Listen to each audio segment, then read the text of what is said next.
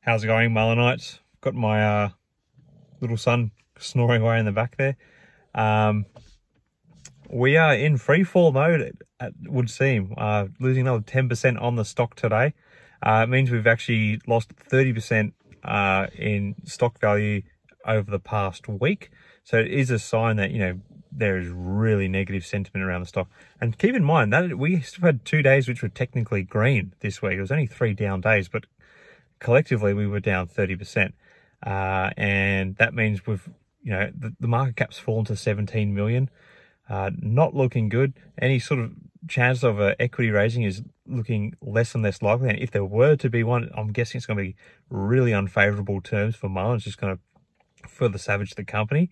Uh, it's kind of like a watching how low can the value of a stock really go. Like when you factor in like all these reverse stock splits we've had in the past, this this stock has fallen from technically something like a thousand dollars to like two cents. It's that's that's just in the scheme of things what's happened uh, when you value it out. It is I've, it is ridiculous the erosion of stock value that we've seen. Anyway, um, I found it really interesting that in the comments there are a few people out there sort of saying they're waiting for it to go down further, then they're going to buy in. Uh, these are obviously the very YOLO sort of plays. I've had a couple of people saying two dollars is their point. I've heard some saying a dollar. Uh, if you're thinking of jumping in and seeing if you get like some dramatic bounce, what's your entry price? What are you looking for? Are you two dollars? Are you one dollars? Are you just steering clear altogether?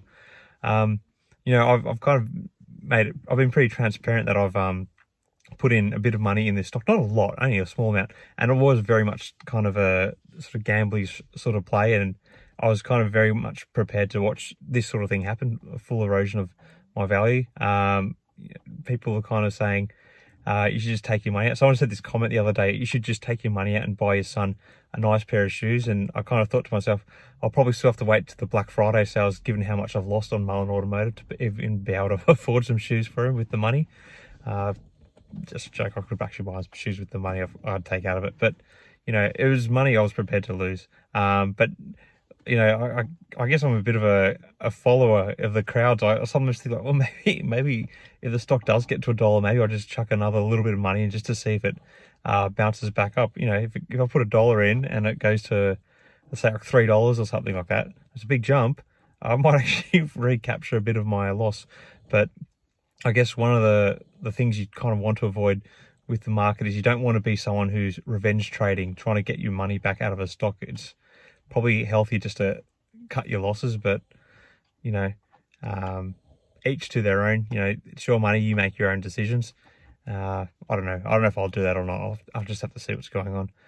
Yeah. Anyway, um, I might check back in with you guys later this weekend just to see, um, give some thoughts on where things are heading next week. I'm guessing we're all thinking the same, down.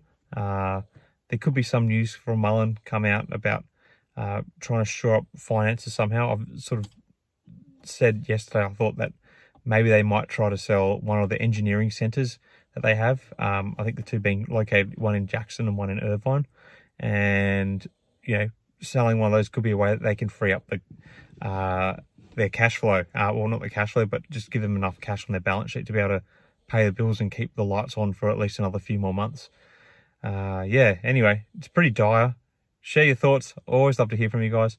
Uh, hope you're all doing well. Till next time, may the markets trade in your favour. Cheers. Say good night, mate. Can you hear him snoring? Terrible company. Cheers.